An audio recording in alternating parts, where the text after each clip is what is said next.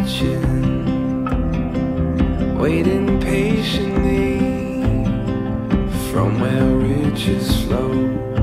My heart is sure to follow over here. You can see much clearer.